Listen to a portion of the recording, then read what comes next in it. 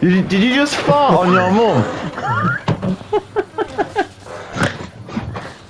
Um, um, um, I'm a genius.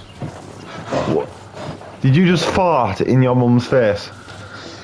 No, I, I, I, as she left the room, I said, Mom, she came back and I to fart. I'm clipping that.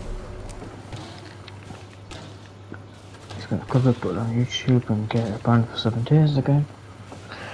Why? Just because you farted? I'm pretty sure farting's family friendly. Imagine it's not. There was no swearing.